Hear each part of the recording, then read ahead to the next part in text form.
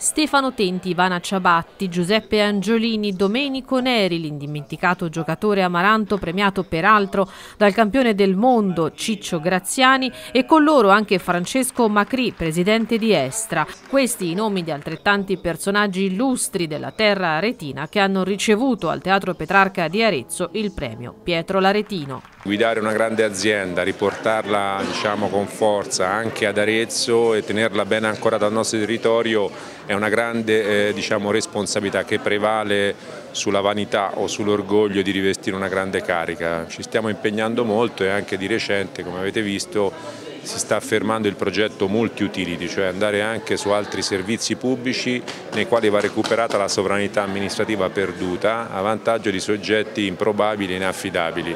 È giusto che gli aretini che già pagano bollette salate in vari settori, dal gas alla luce ai rifiuti all'acqua, almeno abbiano la soddisfazione di riversare sul territorio i risultati economici di queste attività. L'obiettivo nostro sarà anche quello di calmierare queste tariffe e unificando i vari business di origine pubblica potremo meglio intervenire nel recupero di efficienza e di efficacia.